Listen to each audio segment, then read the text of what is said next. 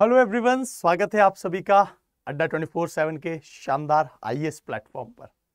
मेरा नाम है रुद्र गौतम और आज के सेगमेंट में हम लोग पार्ट फाइव के बारे में बात करने वाले हैं। डेली मेरी ये जो एनवायरमेंट इकोलॉजी की क्लास आपको मिलती है, हमेशा याद रखेंगे, आपको डेली मेरे साथ लाइव जुड़ना है वन पी पर।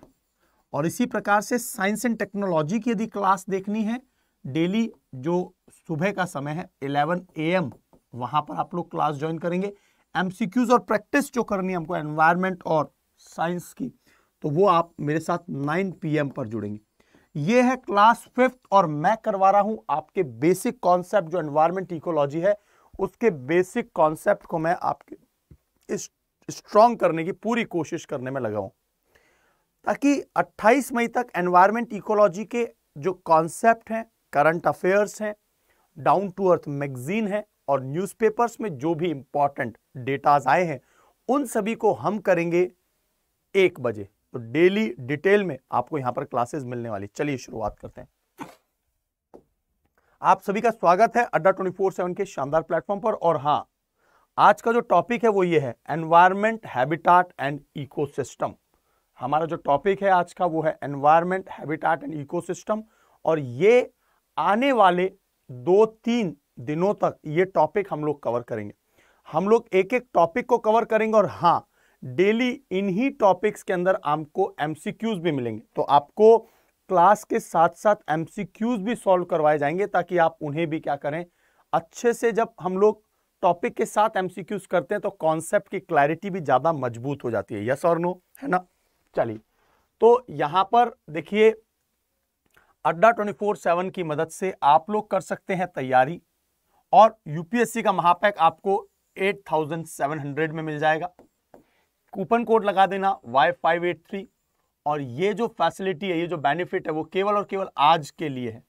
कल से ये बंद हो जाएगा। एनसीईआरटी के कोर्स जो 999 के मिलते हैं आपको, आज ये कोर्स लगभग 420 में मिल रहा है। तो आप इस कोर्स में भी एनरोल कर लीजिए।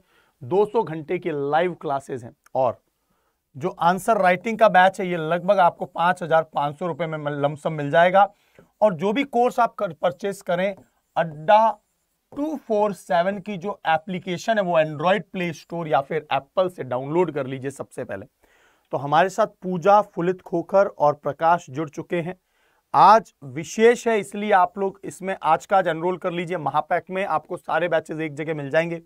ये वो बैचेस की लिस्ट है। आप लोग again Y five eight three का प्रयोग करके किसी भी कूपन कोर्स में, है ना अप्लाई कर सकते हैं। और हाँ किसी भी जो ये ऑप्शनल कोर्सेज हैं, जिनको भी आप लेना चाहते हैं, उनमें भी आप वाई फाइव एट थ्री का प्रयोग करके एनरोल कर सकते हैं। चलिए शुरुआत कर देखिए एनवायरमेंट पर मैंने काफ़ी हद तक आपको बेसिक बातें बता दी हैं। तो एनवायरमेंट में मैं आपको सभी चीज़ को एक ब्रीफ देके और इस पूरे टॉपिक को एक के बाद एक अगली जो क्लासेस होंगी वो बिल्कुल को रिलेटेड होंगी और इसीलिए आपको सभी क्लासेस को अटेंड करना पड़ेगा। एक भी मिस कर दी तो आगे वाला लिंक क्लियर नहीं होगा। यदि किसी कारण से आप लाइव नहीं देख पाते हो तो प्लीज़ रिकॉर्डिंग देख लेना।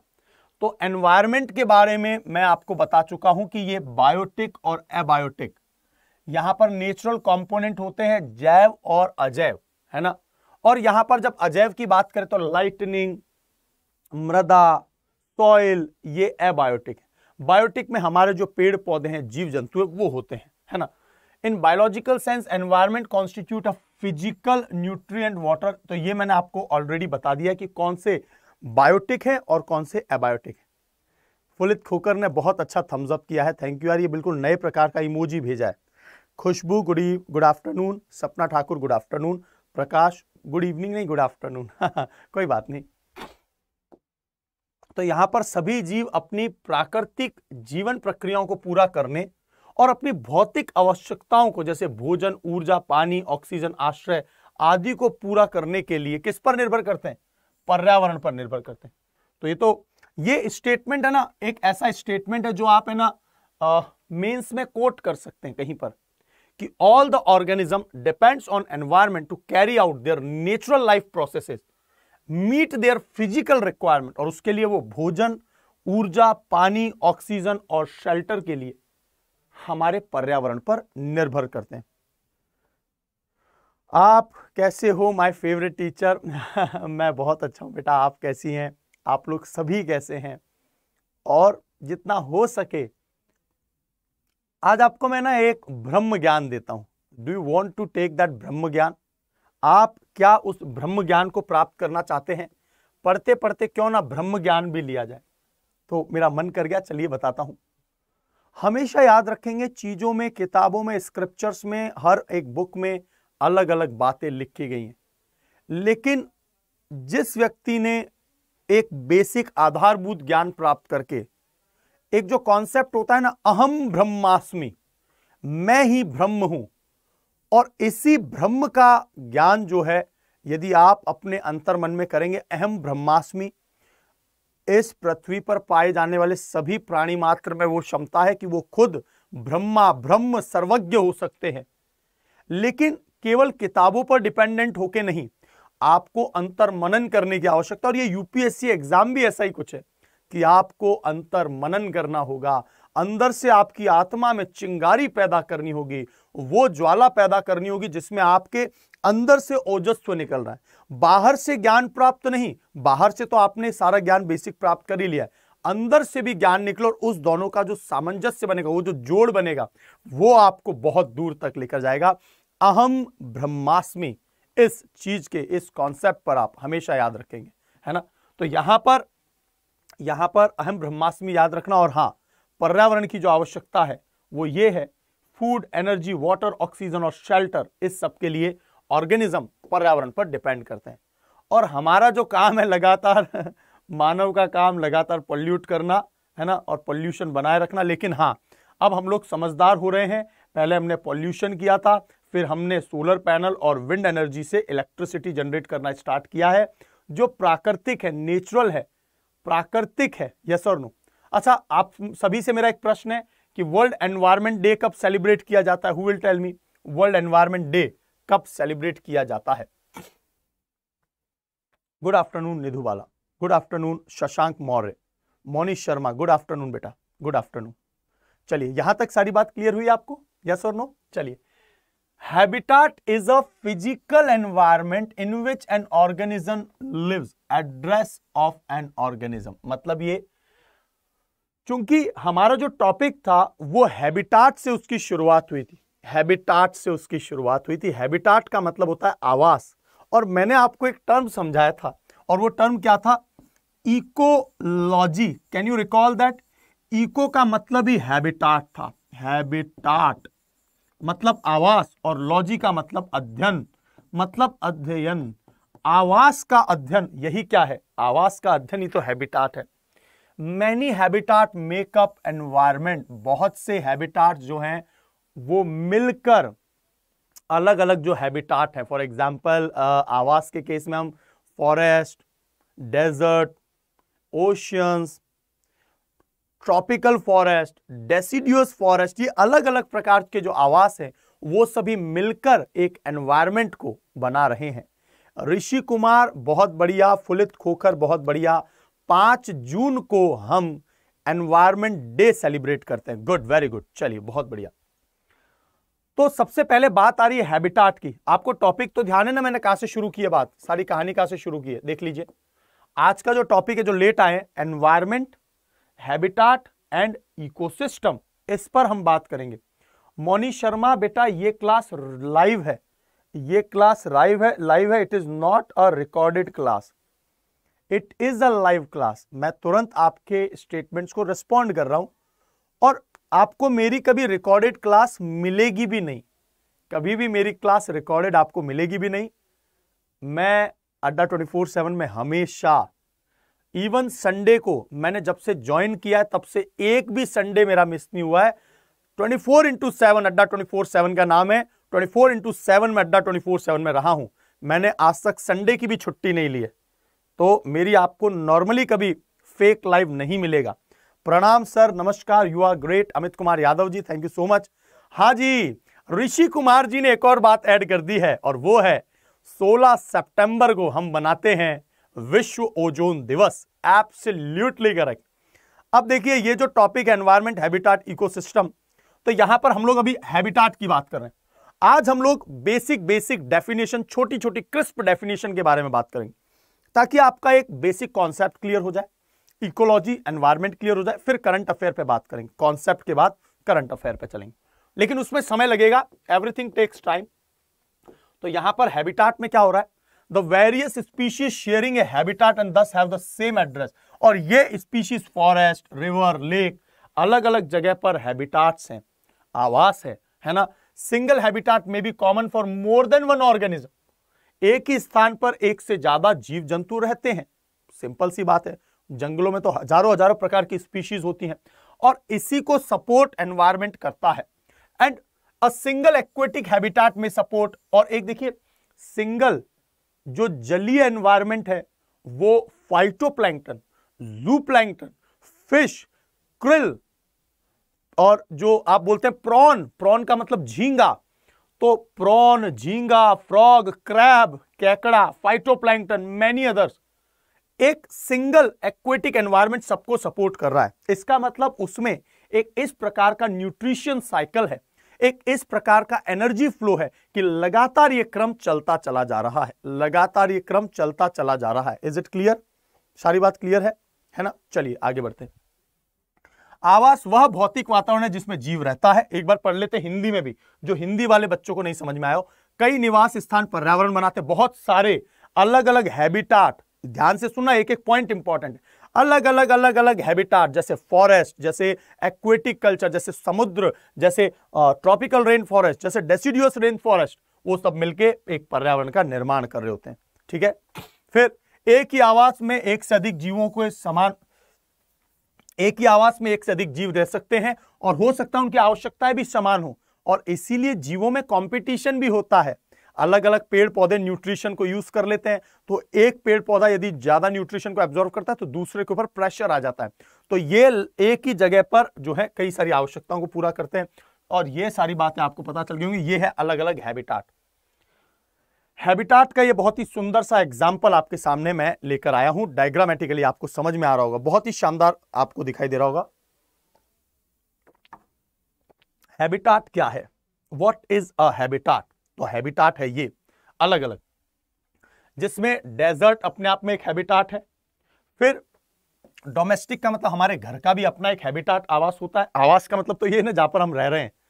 आवास आवास तो वही है। और इको शब्द जो है, वो रूट वर्ड है, मूल शब्द है ओइकोस जिसको ओइकोस कैसे लिखते हैं? ओइकोस ये शब्द इसका मतलब होता है आवास या फिर हैबिटाट फार्म्स फार्म्स जो फार्मलैंड्स हैं, घर में forest polar UK United Kingdom का वाइल्ड है, भारत के वाइल्ड एनिमल जहाँ पर रहता है वेटलैंड है ना? Wetland is very important wetland का मतलब आर्द्र भूमि जो है मॉन्ट्रियक्स रिकॉर्ड वाली भूमि, है ना, नम भूमि, जहाँ पर लवणीय मृदा है, वो अपने आप में एक अलग प्रकार का हैबिटाट है।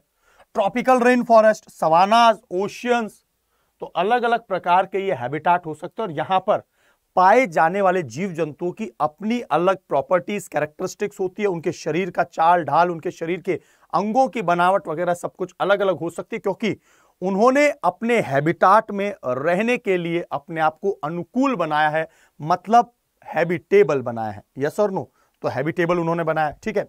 16 सितंबर को ओजोन दिवस मनाया जाता है। यू आर एब्सोल्युटली करेक्ट अच्छा कौन बताएगा?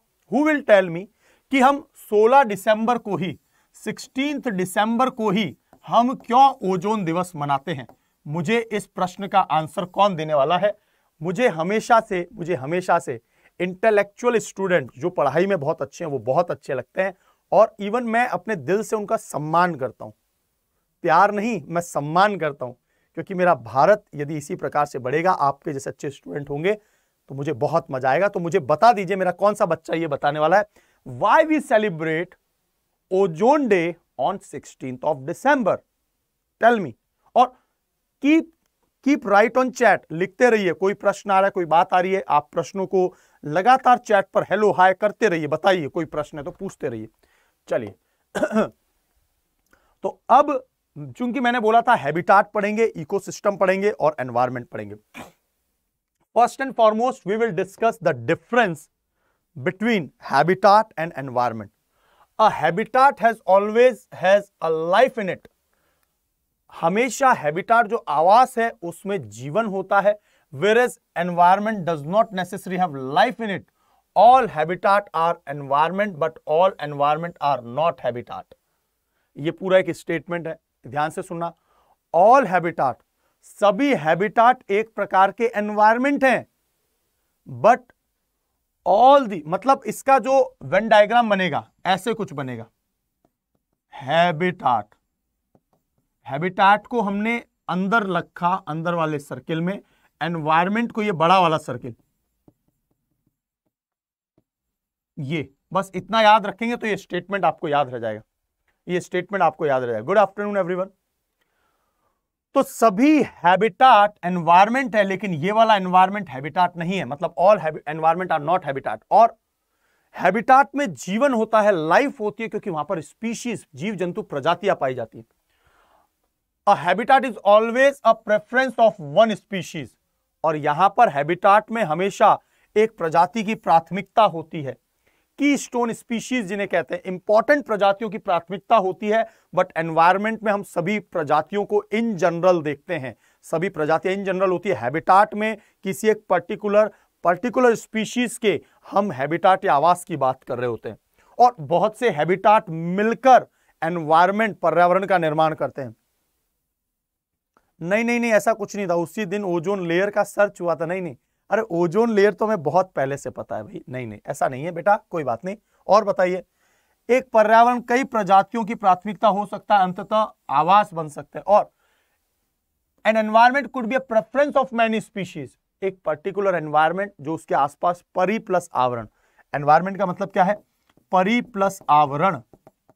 मतलब यह हुआ कि एक स्पीशीज अपने चारों ओर एक आवरण को चाहती है, और उसके लिए उसको जो जो बेसिक नीड है, आवश्यकता है, उसकी पूर्ति के लिए जल, वायु, पानी फ़ूड एनर्जी ये सब मिल पाए। तो हो सकता है कि एक प्रजाति की प्राथमिकता हो कि उसको इस प्रकार का एनवायरमेंट मिले।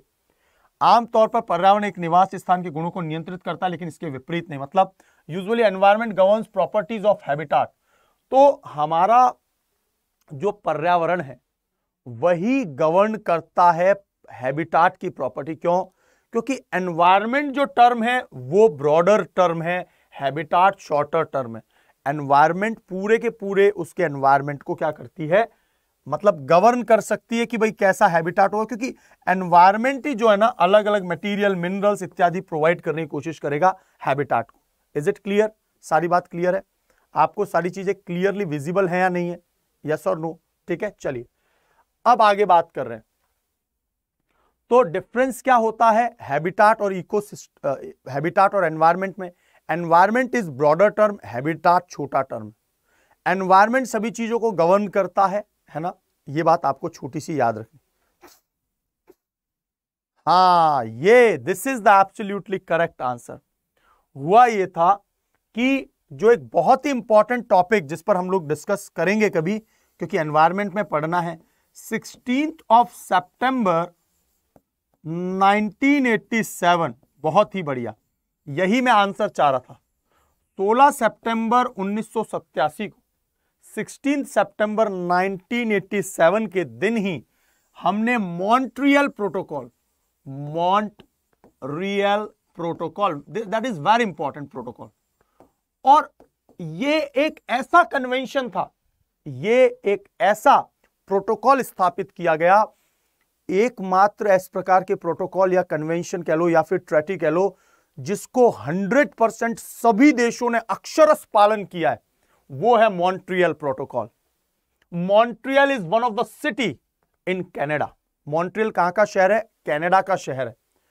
और वहाँ पर कनाडा में यूरोपियन देशों ने और अमेरिका ने, जो आर्कटिक देश हैं, ऊपर वाले, नॉर्दर्न वाले देश, उनको यह बात समझ में आ गई कि जिस प्रकार से हम प्रशीतक, रेफ्रिजरेटर और एसी इत्यादि में।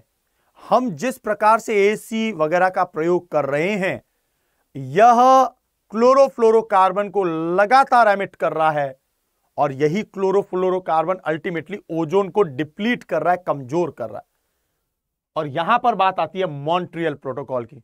और मॉन्ट्रियल प्रोटोकॉल ने यह निर्धारित किया कि जितने भी विकसित राष्ट्र हैं, ऑल द डेवलप्ड नेशंस वो सभी क्लोरोफ्लोरोकार्बन को पूरी तरह से बैन कर देंगे सन 2000 में।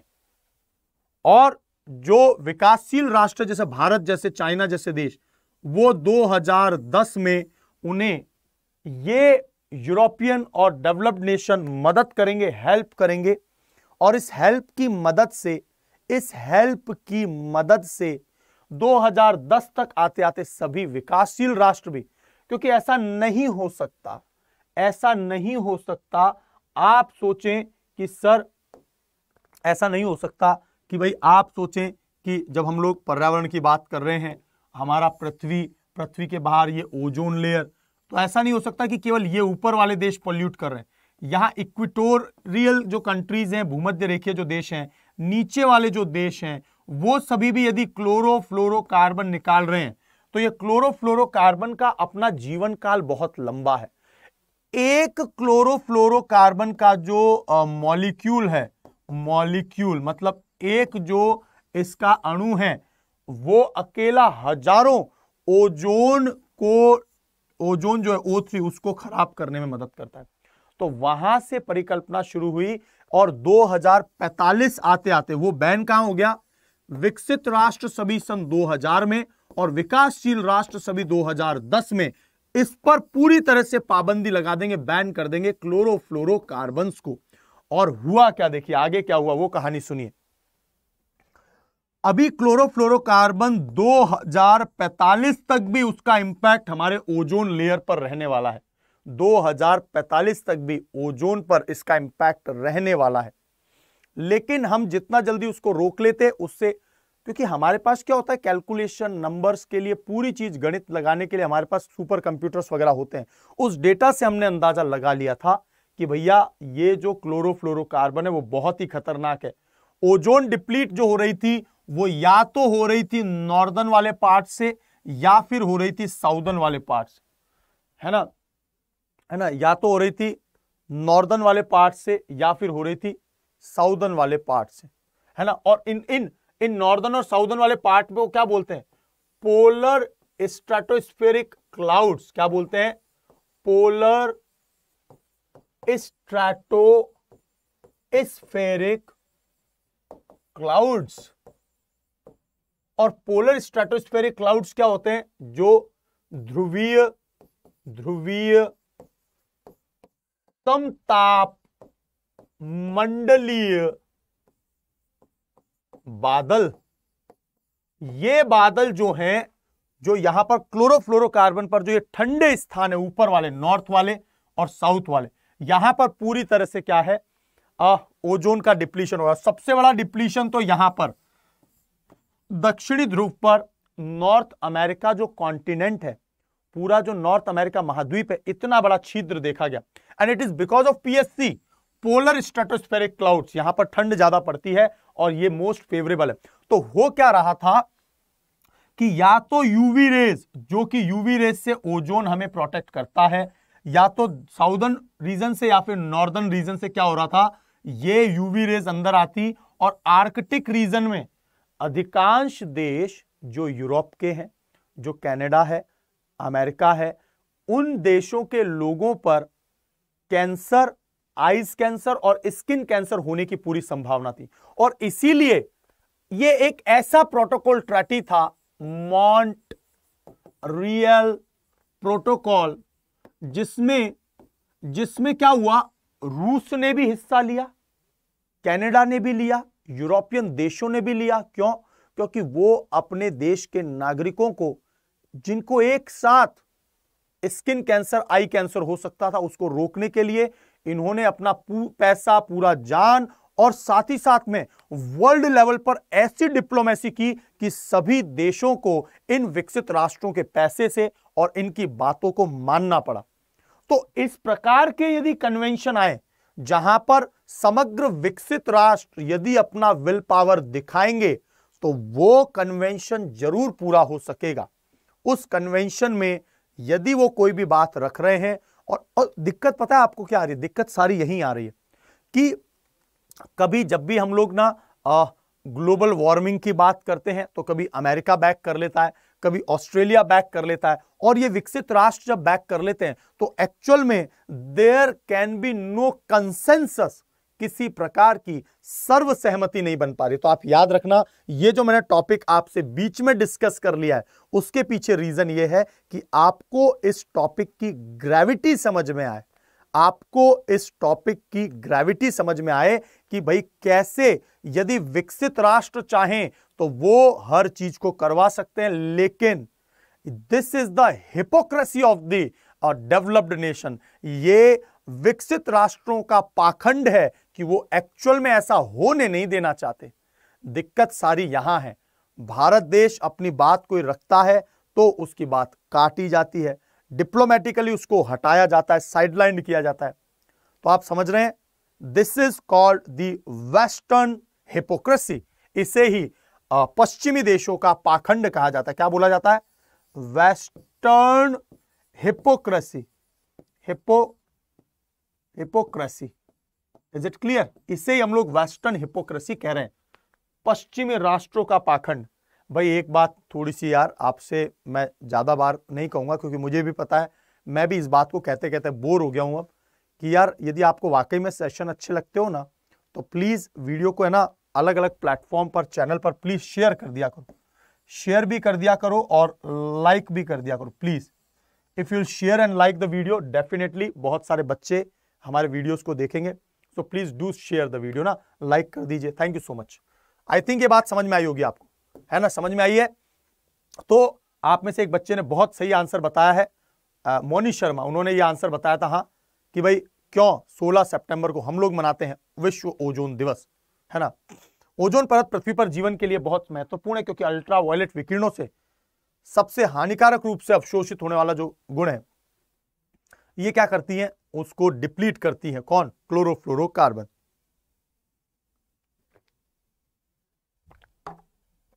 चलिए, आगे बढ़ते हैं। आगे बढ़े? चलिए। तो इकोसिस्टम की बात आ रही है। यहाँ पर एक मिनट। यहाँ पर इकोसिस्टम की बात आ रही है। थोड़ा सा इकोसिस्टम देख लेते इकोसिस्टम क्या होता है? मैंने आपको बताया था, इको का मतलब आवास। And ecosystem can be visualize as a functional ये बहुत इंपॉर्टेंट टर्म इकोसिस्टम को फंक्शनल या फिर कार्यात्मक इकाई क्यों कहा गया है? क्योंकि हमारे जो सजीव और निर्जीव हैं, उनके बीच में लगातार खनिज लवणों मिनरल्स और लगातार एनर्जी ऊर्जा का लगातार एक साइकिल बना हुआ है। लगातार एक साइकिल बना हुआ है। वेयर लिविंग ऑर्गेनिज्म जैसे प्रोड्यूसर कंज्यूमर एंड डिकम्पोजर ये सभी इंटरेक्ट कर रहे हैं, स्वयं से आपस में भी, और हमारे सराउंडिंग के एनवायरमेंट के एबायोटिक जीवों से भी ये इंटरेक्ट कर रहे हैं, है ना? हाँ। पृथ्वी के ओजोन में लगभग 90 प्रतिशत समताप मंडल में। हाँ वेरी गुड मेजर पार्ट जो है अच्छा एक बात याद रखना, एक बात याद रखना ध्यान से सुनिए। ये जो ओजोन गैस है ना एक्चुअल में, ये एक्चुअल में जहरीली गैस है और इसको है ना पॉल्यूटेंट माना जाता है। पॉल्यूटेंट कब? जब हमारी ओजोन गैस जो है वो यदि शोभ मंडल में होगी शोभ मंडल जो हम जिसमें श्वास लेते हैं मतलब आ, जो हमारा ट्रोपोस्फियर ट्रोपोस्फियर में यदि ओजोन है तो वो पॉल्यूटेंट का काम करती है और समताप मंडल में है तो यह गैस हमें ओजोन परत जो है वो यूवी रेस से प्रोटेक्ट करने में मदद करती है। इज़ इट क्लियर चलिए एक और बात समझते हैं। एक और बात समझते हैं। ये जो 30 किलोमीटर से पृथ्वी से 35 किलोमीटर का जो दायरा है 30 से 35 किलोमीटर का दायरा this is the most favourite area ये सबसे इंपॉर्टेंट फेवरेट एरिया है 30 से 35 किलोमीटर का दायरा। यहाँ पर यहाँ पर क्या होता है? सबसे ज़्यादा ओजोन परत यहीं पर सघन है कॉन्सेंट्रेशन ही ज़्यादा है, और ओजोन परत को जो मेजर किया जाता है उसकी सांद्रता को, वो डॉबसन यूनिट है, डॉबसन यूनिट। ओजोन परत की सांद्रता को कॉन्सेंट्रेशन को, डॉबसन यूनिट में मेजर किया जाता है। एब्सोल्युटली करेक्ट बबली जी, स्वागत है आप सभी का। सभी लोग वीडियो को शेयर करते चलिए अच्छा लग रहा है। आपके सभी दोस्तों तक पहुँचे वीडियो बिल्कुल ज़ीरो से क्लास मैंने शुरू किया आपके लिए एनवायरमेंट इकोलॉजी की। चलिए। तो इकोसिस्टम को इसलिए कहा जाता है फंक्शनल यूनिट क्योंकि लगातार प्रोड्यूसर कंज्यूमर ये सब इंटरेक्ट करते हैं, लगातार एक चेन साइकिल में चलता रहता है। चाहे एक्वेटिक इकोसिस्टम हो, चाहे धरातल का लैंड हो, सभी में लगातार ये न्यूट्रिशन और ये सब साइकिल चलती चली जाती है। यस और नो ठीक है। इज़ इट क्लियर और मैंने बेटा क्वेश्चन ये बताया है आई हैव टोल्ड कि 30 से 35 डिग्री 30 से 35 किलोमीटर जो है ना पृथ्वी से यहाँ पर ओजोन की मैक्सिमम, ये बात बोलिए मैंने, मैक्सिमम कॉन्सेंट्रेशन ये बात बोलिए ना? मैंने ये बात बोली है कि मैक्सिमम कॉन्सेंट्रेशन जो है, वो 30 से 35 किलोमीटर पे होता है। इज़ इट क्लियर चलिए। अब बात आ रही है तो ये सब मैंने आपको बता दिया, और हाँ if one part of ecosystem is damage और disappear it has impact on everything यही सबसे इंपॉर्टेंट बात। हम वाई वी स्टडी इकोलॉजी हम पारिस्थितिकी तंत्र को पढ़ते क्यों हैं? दिस इज़ बेसिक रैशनल कि यदि इकोसिस्टम पर एक भी चेन एक भी लाइफ साइकिल एक भी स्पीशीज कम होती है तो उसका इफ़ेक्ट पूरे इकोलॉजी के लाइफ साइकिल पर पड़ता है। If one part of ecosystem is damage और disappear it has an impact on everything else तो फिर सभी पर इंपैक्ट होगा। एवरीथिंग एल्स है ना? इज़ इट क्लियर चलिए। तो आई थिंक ये सारी बातें हिंदी इंग्लिश में आपको समझ में आ गई होगी। इकोसिस्टम क्या है? क्यों इसे फंक्शनल कहते हैं? क्यों इसे कार्यात्मक कहते हैं? क्यों ये एक साइक्लिक रूप में चलता है? ये बात आपको समझ में आ गई होगी, है ना? चलिए। अब बात कर रहे हैं, अब बात कर रहे हैं भाई क्लासिफिकेशन ऑफ़ द इकोसिस्टम की। जैसे इकोसिस्टम है ना अलग अलग हो सकता है। जैसे फॉरेस्ट, ग्रासलैंड, सबके अपने अलग अलग फीचर हैं। जैसे रेगिस्तान, some example of terrestrial ecosystem, और वैसे ही aquatic ecosystem pond, lake, wetland, river, estuaries and ocean. ये जो एग्ज़ाम्पल हैं, वो एक्वेटिक इकोसिस्टम के। और याद रखना, एक और बात याद रखना, जो क्रॉप फ़ील्ड होता है, या एक्वेरियम होता है, ये ह्यूमन मेड इकोसिस्टम है। आपने ह्यूमन मेड का मतलब क्योंकि क्योंकि जो घास के मैदान है, वो तो नेचुरल है। जैसे steppes prairies downs velds savannas है ना? ये सब क्या है? ये तो नेचुरल ग्रासलैंड है। लेकिन क्रॉपलैंड जो बनता है, वो मानव के द्वारा, उसके द्वारा हस्तक्षेपित किया गया है ना? तो यहाँ पर एक और पॉइंट याद रखना आप लोग। एक और पॉइंट याद रखना, और वो ये, आपने दो चीज़ें पढ़ी होंगी। इन सिटू एनवायरमेंट और ये टर्म है ना, हमेशा एग्ज़ाम में पूछा जाता है। इन सिटू एनवायरमेंट और एक्स सिटू इन सिटू और एक्स सिटू में क्या अंतर है? What is in situ what is ex situ जो भी चीज़ें पूर्णतया नेचुरल हैं, पूर्णतया नेचुरल हैं, जैसे for example national park wild life sanctuary ये हमने केवल एनक्लोज किया, उनको बंद किया, उनको परिबद्ध आवरण दिया कि भाई ये यहाँ से लेके यहाँ तक की जो बाउंड्री है, ये नेशनल पार्क है। लेकिन उसमें मानव का हस्तक्षेप नहीं तो इन सिटू का मतलब ये होता है कि जब हम लोग फॉरेस्ट की बात कर रहे हैं, जब हम लोग कोरल रीफ की बात कर रहे हैं, जो पूर्णतया प्राकृतिक है, वो है इन सिटू एनवायरमेंट और यदि हम लोग बात कर रहे हैं हर्बेरियम की, जहाँ पर अलग अलग क्रॉप्स वगैरह उगाई जाती हैं हम लोग बात कर रहे हैं यदि बॉटनिकल गार्डन की, यदि हम बात कर रहे हैं एक्वेरियम की, ये जो हम लोग घरों में एक्वेरियम रखते हैं, मछलियाँ जिसमें रखते हैं, हम लोग यदि बात कर रहे हैं क्रॉपलैंड की तो ये सभी क्या है? एक्सिटू है और ये सभी इन सिटू है। है ना? In situ natural and ex situ is for man made है ना? मैन मेड ठीक है? M A N man made ठीक है मैन मेड होगा ये, ठीक है? चलिए good good afternoon Ayushi Shukla, आप हमेशा लेट आते हैं बेटा। सभी लोग जितने भी बच्चे हैं, वो प्लीज़ टाइम से आया करो यार, सभी लोग। और यदि लेट आए हो तो शुरुआत से वीडियो ज़रूर देखना, क्योंकि बीच में आने से कोई फ़ायदा नहीं मिलेगा। कॉन्सेप्ट चल रहे हैं एक एक अभी मैं बहुत सी टर्म्स की टर्म्स पर आ रहा हूँ। तो ये सारी बातें आपको समझ में आ गई। चलिए। Difference between ecology environment and habitat इसी पर तो हमको पढ़ना है। तो यहाँ पर आपको फोर डेफिनेशन मिलने वाली है। डेफिनेशन क्या है? वो कैसे पूछते हैं? आमिर खान से? प्रोफेसर साहब डेफिनेशन बताओ डेफिनेशन तो डेफिनेशन आर वेरी इंपॉर्टेंट है ना? तो सबसे पहले आ रही है डेफिनेशन इकोलॉजी की, फिर आएगी इकोसिस्टम की, फिर आएगी एनवायरमेंट की, और फिर आएगी हैबिटाट की। सबसे पहले इकोलॉजी पे, फिर पारिस्थितिकी तंत्र पे, फिर पर्यावरण पे, फिर आवास पारिस्थितिकी चलो चारों ही डेफिनेशन को देख लेते हैं। अवनी सिंह, सभी सभी बच्चों का स्वागत है। गुड आफ्टरनून एवरीवन स्वागत है बेटा सभी का। इकोलॉजी क्या है? Ecology is the study of interaction अब एक्चुअल में क्या होता है? आपको ना लैंग्वेज हु लिखनी पड़ती है। यहाँ पर जो डेफिनेशन वाला पार्ट है ना, वो आप कोशिश करिए कि उसको आप दो तीन बार पढ़ लीजिए मेमोराइज रखिए, दिमाग में अंदर रखिए यहाँ पर, है ना? Ecology is the study and interaction between organism ecology क्या है?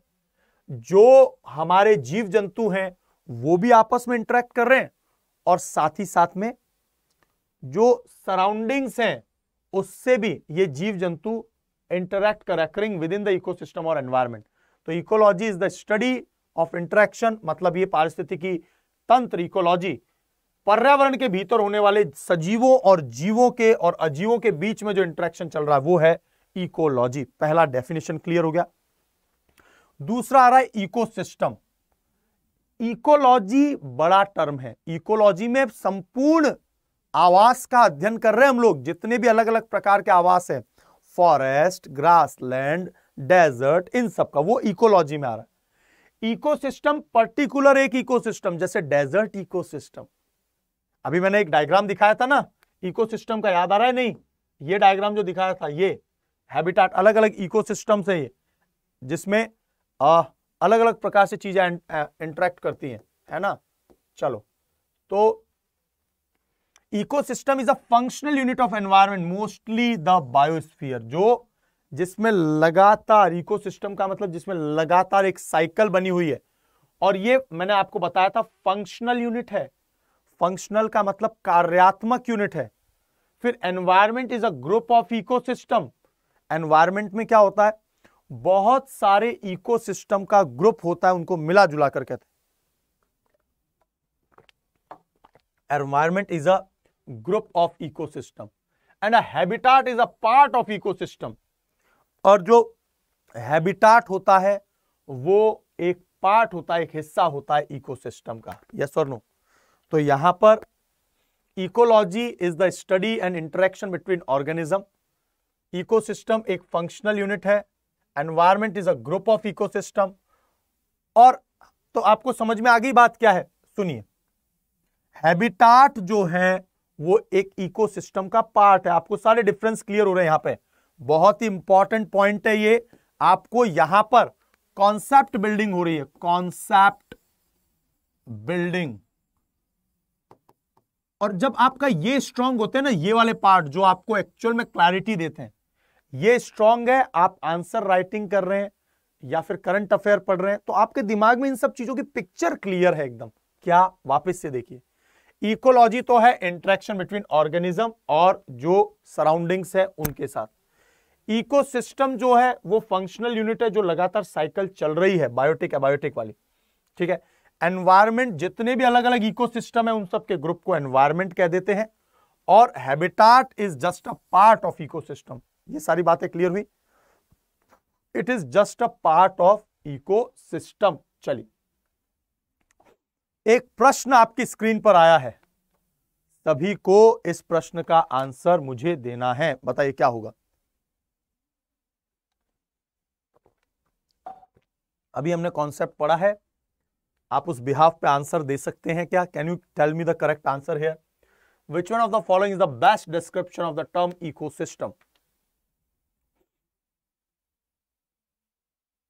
a community of organism interacting with one another क्या ये इकोसिस्टम है? That part of earth which is inhabited by living organism क्या होगा बताइए? आपके स्क्रीन पे प्रश्न आ गया है, बताइए क्या होगा answer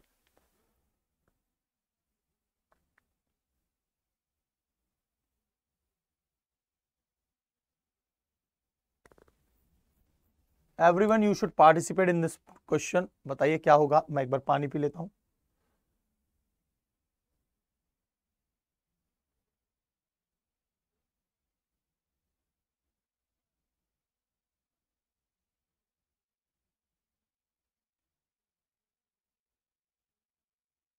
क्या होना चाहिए? आंसर बताइए।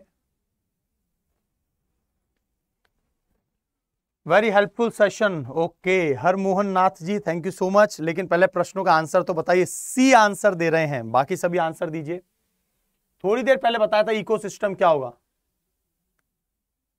बहुत ही अच्छा प्रश्न है a community of organism interacting with one another केवल एक दूसरे से इंटरेक्ट कर रही है कम्युनिटी क्या वो एक इकोसिस्टम है क्या बताइए अभी पढ़ा है आपने पूरा डिटेल में सेकेंड स्टेटमेंट है that part of earth which is inhabited by living organism ऐसा हिस्सा जहाँ पर जीवित लिविंग ऑर्गेनिज्म पाया जा रहा ऐसा कुछ है क्या? A community of organism together with the environment in which they live वो कम्युनिटी जो है एनवायरमेंट के साथ में रह रही है। एनवायरमेंट का मतलब जो साइकिल और क्या? The flora and fauna of the geographical area what will be the correct answer here अलग अलग प्रश्नों के आंसर उत्तर आए हैं। दो आंसर नहीं हो सकते, आंसर तो एक ही होगा। So here the correct answer is C C होगा answer. The correct answer will be C पारिस्थितिकी तंत्र में क्या होता है? जीवों का जो समुदाय है कम्युनिटी पारिस्थितिकी तंत्र। एक बार फिर से याद दिलाऊं, मैंने अपनी प्रीवियस क्लासेस में क्या बताया था? मैंने अपनी प्रीवियस क्लासेस में क्या बताया था? बताऊँ एक बार? ध्यान से सुनना, ध्यान से सुनना बेटा। सबसे पहले तो होता है एक इंडिविजुअल जो व्यक्तिगत रूप से एक कोई स्पीशीज का एक एक कोई भी जानवर। जैसे मानव में मुझे मान लीजिए, है ना, आप लोग अपने आप को मान लीजिए। उन इंडिविजुअल से मिलकर बनती है पॉपुलेशन पॉपुलेशन से मिलकर बनती है कम्युनिटी पॉपुलेशन से मिलकर बनती है कम्युनिटी और कम्युनिटी से मिलकर बनता है इकोसिस्टम तो वैसे भी आंसर तो आ ही रहा है। और इकोसिस्टम से मिलकर बनता है बायोम बायोम और बायोम से मिल, बहुत सारे बायोम से मिलकर बनता है बायोस्फीयर यही तो बताई थी पूरी गणित। बताई थी कि नहीं? है ना? तो इंडिविजुअल इंडिविजुअल के बाद में पॉपुलेशन आपके बीच में दिव्यांशी चंद्रा मैम भी आई हुई हैं। क्या बात है। दिव्यांशी मैम भी हैं आपके साथ में? मैम ने भी आंसर करेक्ट दिया है। बहुत ही अच्छा क्वेश्चन था लेकिन देखिए कभी भी हम टॉपिक को पढ़ रहे हैं ना उसके साथ साथ डेली मेरी जो एनवायरमेंट इकोलॉजी की ये क्लास आएगी ना टॉपिक के साथ साथ में मैं आपको आंसर्स भी दूँगा। तो यहाँ पर आ, सभी का जिन स्टूडेंट्स का आंसर सही है उनका अनाउंसमेंट कर देता हूँ। सबसे पहले ऋषि कुमार उसके बाद बबली बबली के बाद में आ, फुलित खोकर दिव्यांशी चंद्रा मैम ने सी दिया करेक्ट अवनी और अवनी और पुलित खोकर। क्या बात है, बहुत बढ़िया। यहाँ से आपको एक व्यक्ति इंडिविजुअल मैं इतने दिनों से जो एनवायरमेंट पढ़ा रहा हूँ, वो आपको मैंने कई बार ये डायग्राम बना दिया है। इंडिविजुअल से मिलकर बनता है पॉपुलेशन पॉपुलेशन जनसंख्या, एक पर्टिकुलर स्पीशीज की जनसंख्या। जनसंख्या से मिलकर बनता है कम्युनिटी एक एक स्थान विशेष पर पाए जाने वाली अलग अलग प्रकार की स्पीशीज प्रजातियाँ, वो कम्युनिटी कहलाता है। जैसे जंगल में शेर, बाघ, लोमड़ी हिरण सब कुछ है वो। और बहुत सारी कम्युनिटी जो कि इंटरेक्ट कर रही है अपने पर्यावरण से इकोसिस्टम है जब वो पर्यावरण से इंटरेक्ट कर रही है। और आयुषी शुक्ला, यस, माफ़ी चाहता हूँ बेटा, आयुषी शुक्ला ने भी सही आंसर दिया ऊपर। सॉरी बेटा, कोई बात नहीं डोंट फील अदरवाइज़ है ना? C C is the correct answer yes C for cat okay D for dog A for apple B for boy बहुत बढ़िया बहुत बढ़िया कम्युनिटी और फिर बायोम और ये। इज़ इट क्लियर चलिए। आई थिंक ये सारी बातें आपको एकदम क्लियर हो गई होंगी यस और no so C will be the correct answer है यहाँ पर सी जो है, वो सही आंसर है। तो यहाँ पर आपको कुछ और फैक्ट्स और इंपॉर्टेंट पॉइंट्स यहाँ पर मिल रहे हैं आपको। बहुत इंपॉर्टेंट है। देखते हैं क्या होगा आंसर अगला पॉइंट जो टॉपिक है, उस पर डिस्कशन कर लेते हैं थोड़ा सा। Good afternoon sir and everyone good afternoon ma'am नमस्कार। चलिए। गुड आफ्टरनून तो आप लोगों को पता है ना, एक एक बात बताता हूँ मैं आपको कि मैम का दो बजे सेशन आता है टू पीएम पर। मैम का टू पीएम पर सेशन आता है दो बजे डेली है ना? इसी अड्डा ट्वेंटी फोर सेवन आई के चैनल पर मैम आपको एक बार बताएँगे ना क्या मैम? दो बजे आई पर ही है ना? आई थिंक आई पर ही हाँ और चार बजे एमसीक्यूज स्टेट पीसीएस के चैनल पर। तो आप लोग मैम की क्लास रेगुलर देखिए, मैम बहुत अच्छे से आपको आंसर राइटिंग की प्रैक्टिस करवाती हैं। है ना? Thank you so much ma'am to come in my class और इसी तरह से हम लोग सभी फैकल्टीज एक दूसरे की क्लास में जाते आते रहते हैं। क्या बात है? इंडिविजुअल से पॉपुलेशन पॉपुलेशन से कम्युनिटी कम्युनिटी से इकोसिस्टम इकोसिस्टम से बायोम और बायोम से बायोस्फीयर क्या बात है? तो ये हमारे इकोलॉजी के छह अलग अलग ऑर्गेनाइजेशन है। छह अलग अलग ऑर्गेनाइजेशन ये है। ठीक है? तो यहाँ पर देखिए a community of organism interacting with one another जब कोई कम्युनिटी ऑफ़ ऑर्गेनिज्म अलग अलग जो जीव जंतु हैं, वो इंटरेक्ट करती है एक दूसरे से, उसको कहा जाता है इकोलॉजिकल कम्युनिटी वहाँ की इकोलॉजिकल कम्युनिटी कहा जाता है। That part of earth which is inhabited by living organism वह भाग जहाँ पर जीवित जीव जंतु रहते हैं, उसे बायोस्फीयर कहा जाता है। क्यों? क्योंकि बायोस्फीयर में जलमंडल, स्थलमंडल और वायुमंडल तीनों होते हैं। जलमंडल स्थल मंडल और वायुमंडल तीनों होते हैं। A community of organism together with the environment in which they live वो इकोसिस्टम कहलाता है। A community of organism together with the environment पर्यावरण के साथ साथ वो इकोसिस्टम कहलाता है। अभी मैंने आपको बताया था इकोसिस्टम क्या है? अभी आंसर बताया ना मैंने क्वेश्चन का। कम्युनिटी जो पर्यावरण के साथ रिलेशन कर रही है अलग अलग एक फॉरेस्ट के अंदर कम्युनिटी है, वो इंटरेक्ट कर रही है पर्यावरण के साथ तो वो इकोसिस्टम है। हिंदी में भी आपको दिया गया है। उम्मीद करता हूँ ये सारी बातें आपको समझ में आई होंगी। यस और नो यस और नो बताइए। यस और नो यहाँ पर आपको छोटी छोटी क्रिस्प डेफिनेशन दी गई है। ये आपके लिए बहुत इंपॉर्टेंट है। जैसे एनवायरमेंट क्या है? यहाँ पर the flora and fauna of a geographical area एक पर्टिकुलर स्थान विशेष पर पाए जाने वाले अलग अलग पेड़ पौधे जीव जंतु वो जैव विविधता बायोडाइवर्सिटी कहलाता है। एनवायरमेंट क्या है? कैन बी ऑलमोस्ट एवरीथिंग और स्मॉल रीजन एनवायरमेंट जो भी हमारे आसपास का पर्यावरण है एनीथिंग जो भी चीज़ है, वो सभी एनवायरमेंट है। बायोस्फीयर क्या होता है? जहाँ पर स्थल मंडल जल मंडल वायुमंडल तीनों होते हैं। That region which supports life on earth वह क्षेत्र जो हमारे पृथ्वी पर जीवन को सपोर्ट करता है, वो बायोस्फीयर कहलाता है। हैबिटाट क्या होता है? Area where an organism live वह एरिया जहाँ पर वह ऑर्गेनिज्म जीव जंतु रहता है। फिर बात आ रही है इकोसिस्टम इकोसिस्टम में प्रोड्यूसर भी होते हैं, जो उत्पादक हैं कंज्यूमर भी होंगे डिकम्पोजर भी होंगे, जो चीज़ों को सूक्ष्म रूप से तब्दील करें। And their relationship tiny tiny environment it is functional unit of environment ecosystem is very important है ना? इकोसिस्टम शब्द किसने दिया था? ए जी टेंसले ने 1935 में। ए जी टेंसले के द्वारा इकोसिस्टम टर्म दिया गया था 1935 में। ए जी टेंसले के द्वारा यह शब्द दिया गया था। बेटा, बहुत लेट आते हो आप लोग, जबकि आपको पता है मैंने कितनी बार अपने टाइमिंग को अनाउंस किया है आपको, लेकिन आप लोग कभी टाइम से नहीं आएँगे। मैंने कई बार बताया 11 एम पर तुरंत जुड़ जाइए 1 पीएम पर जुड़ जाइए, और शाम को 9 पीएम पर जुड़ जाइए, लेकिन आप लोग कभी टाइम से नहीं आते और फिर कॉन्सेप्ट जो है वो बिल्ड कैसे होगा आप लोगों का? ए जी टेंसले यस बहुत बढ़िया। तो इसके बाद में बात आ रही है इकोलॉजी क्या है? ये तो पूरा अध्ययन है। जो इकोसिस्टम में इंटरेक्शन हो रहा है ना एनवायरमेंट का कम्युनिटी का एनवायरमेंट से जो इंटरेक्शन हो रहा है, वो उस पूरे का अध्ययन इकोलॉजी कहलाता है। और इकोलॉजी शब्द किसने दिया था? इकोलॉजी शब्द किसने दिया है? कार्ल रिटर तो इकोलॉजी के फादर है और अर्नेस्ट हैकल ने इकोलॉजी शब्द दिया है। तो मैं एक बार फिर से आपको बता देता हूँ। देखिए, एक तो शख्स है, Karl Ritter, right? Karl Ritter. इन्होंने, इनको बोला जाता है father of father of ecology. ठीक है? पहला पॉइंट। दूसरा पॉइंट आ रहा है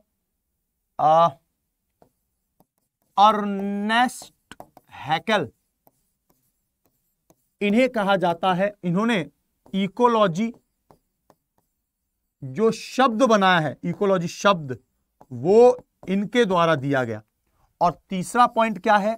The third point is A G Tansley इनके द्वारा इको सिस्टम टर्म दी गई है, टर्म। इकोसिस्टम टर्म इनके द्वारा दी गई। ये याद रहेगा? कुछ बेसिक पॉइंट और भारत में father of ecology father Indian आगे लिख देता हूँ इंडियन फादर ऑफ़ इकोलॉजी वो कौन है? रामदेव मिश्र। ये कुछ नाम आप लोग याद रखना समय समय पर ये नाम आते रहेंगे। हम लोग बहुत सारी चीज़ों पर डिस्कशन करते रहेंगे इसी प्रकार से, है ना? तो father of ecology Ramdeo Mishra Ernest Haeckel Karl Ritter A G Tansley. ये सभी नाम आपको याद रखने हैं है ना? तो ये है पूरा अलग अब कंपोनेंट वगैरह पे बात करेंगे लेकिन मैं एक बात और कह दूँ आपसे कि यार आ, इसी प्रकार से डेली क्लासेस देख लिया करो 11 एम पे नैनो टेक्नोलॉजी लगभग फिनिश कर दिया मैंने डिटेल में क्लास ली है। 1 पीएम पर एनवायरमेंट इकोलॉजी की बेसिक क्लास स्टार्ट हुई है और 9 पीएम पर आज फिर शाम में 9 बजे जुड़ जाना।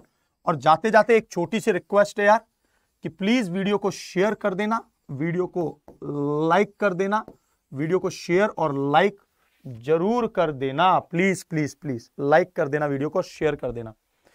प्लीज़ है ना do like and share everyone मैं आपको छोटी सी रिक्वेस्ट कर रहा हूँ प्लीज़ लाइक एंड शेयर कर देना वीडियो को प्लीज़ और एक और चीज़, आपको यहाँ पर जो इसकी पीडीएफ फ़ाइल है, इसकी जो पीपीटी फ़ाइल है पीपीटी, वो कहाँ पर मिलेगी पीपीटी आपको?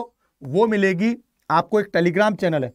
I A S PCS by Adda two four seven. ये टेलीग्राम चैनल है बेटा। ध्यान से सुन लो। आपको नोट्स मटेरियल कहाँ पर मिलेंगे?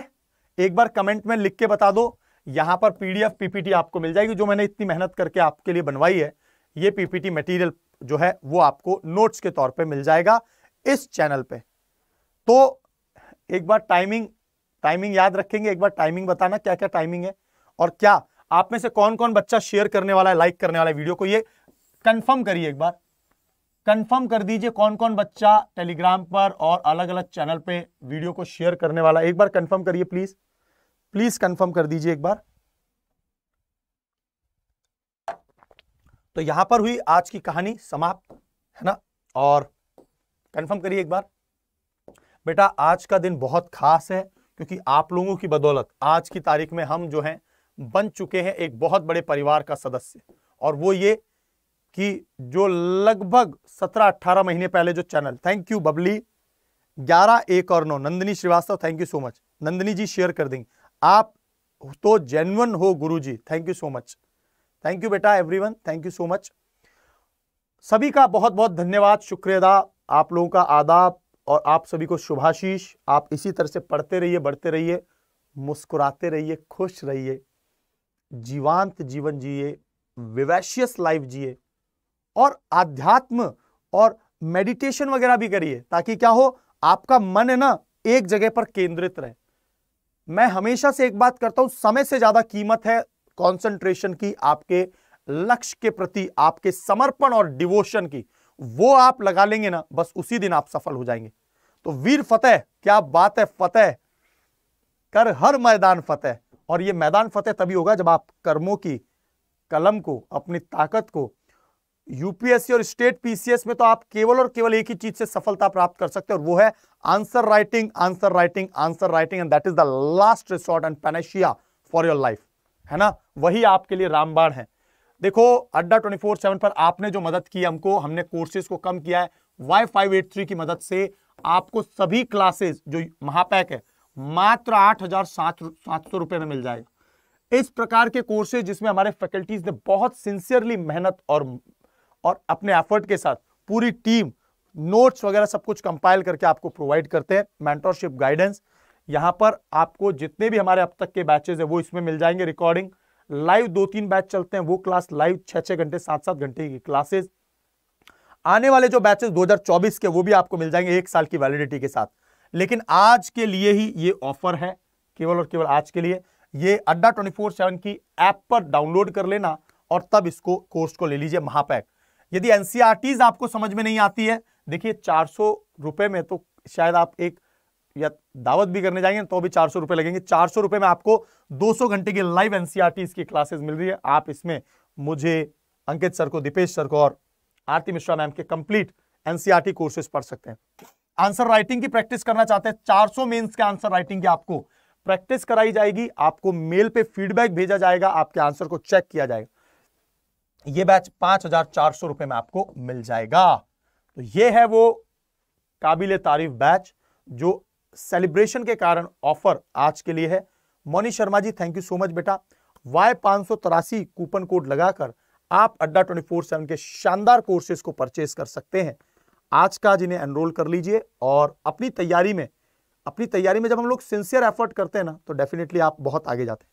आज के सेशन को मैं रोकता हूँ यहीं और यदि आपको चाहिए कि कैसे आप अड्डा ट्वेंटी फोर सेवन ऐप की मदद से आप इन कोर्सेज में एनरोल कर सकते हैं तो आप जाएँगे यहाँ पर। अड्डा टू फोर सेवन में, और यहाँ पर ये है अड्डा टू फोर सेवन का ये part all courses all courses में जाएँगे यूपीएससी में जाएँगे यूपीएससी सीएससी में जाएँगे, और यहाँ पर आपको एक कोर्सेज मिल जाएँगे, है ना? ये सभी कोर्सेज आपको एक जगह मिल जाते हैं, महापैक ले लीजिए यूपीएससी में जाके महापैक, और ये कोर्स आपको उनचालीस हज़ार नौ सौ निन्यानवे का नहीं मिलेगा।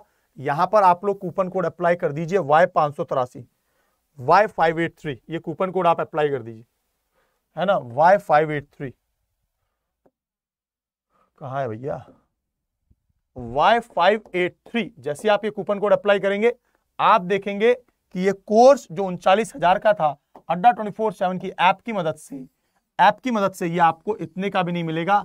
आपको कुछ कॉइन्स मिल जाएँगे, आठ हज़ार सात सौ मिल जाएगा। अड्डा ट्वेंटी फोर सेवन के स्टेट पीसीएस के बैचेस भी हैं, उनको भी आप केवल आज आज के लिए, और मात्र चार सौ रुपए में, केवल आज आज के लिए है कल से यही एनसीआरटी का कोर्स नौ सौ निन्यानवे का मिलेगा। आज ये कोर्स लगभग 420 430 में आपको मिल जाएगा एनसीआरटी का कोर्स। एनसीआरटी का कोर्स 420 में मिल जाएगा। वाई पाँच लगाकर अभी का भी, अभी का भी परचेस कर लीजिए। एनसीआरटी का कोर्स कंप्लीट एनसीआरटी के आपको नोट्स वगैरह सब कुछ मिल जाए नहीं नहीं नहीं नहीं नहीं। आपको 200 घंटे की क्लासेस मिलेंगी और इसकी वैलिडिटी होगी बेटा वन ईयर की। एक साल की वैलिडिटी के साथ में, एक साल की वैलिडिटी के साथ में आपको आज की डेट में लगभग 400 और कुछ रुपए का मिलेगा, लेकिन वैसे नौ सौ निन्यानवे का मिलता है। तो आज का आज कोर्स को परचेस कर लीजिए, ठीक है? आज के सेशन को मैं रोकता हूँ यहीं। इसी प्रकार से पढ़ते रहिए, बढ़ते रहिए। Keep learning keep watching Adda twenty four seven God bless you all जय हिंद।